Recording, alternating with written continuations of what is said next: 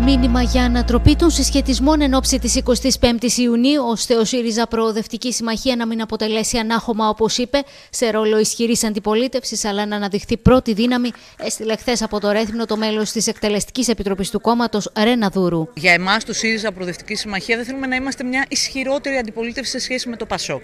Θέλουμε να ανατρέψουμε τους συσχετισμούς και να αποσώσουμε ό,τι σώζεται από τέσσερα χρόνια που μας έβγαλαν εκτός και των ευρωπαϊκών αραγών. Η Ρεναδούρου, μιλώντας για το Ρέθυμνο, τόνισε πως το μεγάλο στίχημα σε επίπεδο νομού είναι να ξαναπάρει το κόμμα της στην έδρα, καταφέρνοντας να καλύψει τις 215 ψήφους διαφορά με τη Νέα Δημοκρατία και γενικότερα η Κρήτη να αλλάξει το χρώμα στον πολιτικό χάρτη. Το εύκολο στίχημα είναι οι 215 ψήφοι που μας λείπουν από, τη, από το Ρέθυμνο των Δημοκρατικών Παρακαταθήκων, ώστε στι 25 Ιουνίου να εκπροσωπηθεί ο νομός σας στο Ελληνικό Κοινοβούλιο.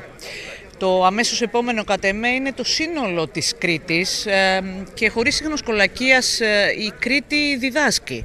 Ε, διδάσκει στις διεκδικήσεις, διδάσκει στους δημοκρατικούς αγώνες και για εμάς που δεν είμαστε κριτικοί και κριτικές ήταν απορίας άξιων πώς το νησί σας βάφτηκε μπλε. Θεωρώ ότι το αποτέλεσμα ειδικά στο νομό Ρεθύμνου ε, υπό την προϋπόθεση μιας ανάκαμψης συνολικά ε, του ΣΥΡΙΖΑ πανελλαδικά είναι απολύτως εφικτό να αλλάξει και να ανακτήσουμε την κοινοβουλευτική έδρα η οποία χάθηκε στις προηγούμενες εκλογές.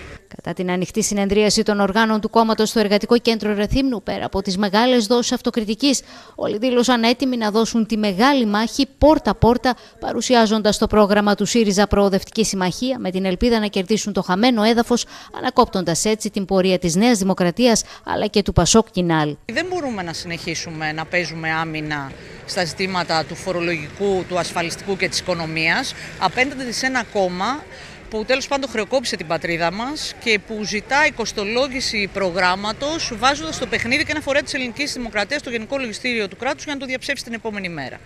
Ε, λέω λοιπόν ότι ναι, προλαβαίνουμε.